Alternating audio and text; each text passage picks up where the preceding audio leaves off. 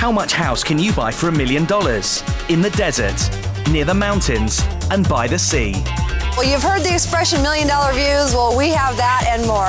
And where can you get a deal like this? We just closed escrow on our brand new home. National Open House, tonight on Real Estate TV.